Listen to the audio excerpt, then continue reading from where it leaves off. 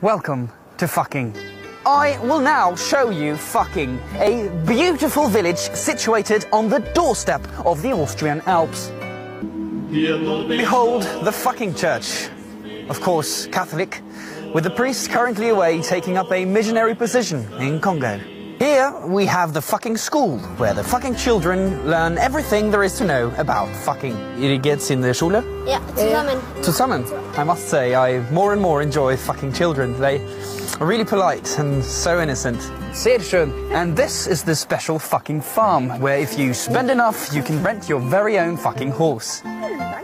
Oh, look at the black one. Such a stallion. Beautiful animals. And here, a woman who prefers fucking outside with the family dog. And I was lucky enough to meet the town mayor, commonly known as the motherfucker.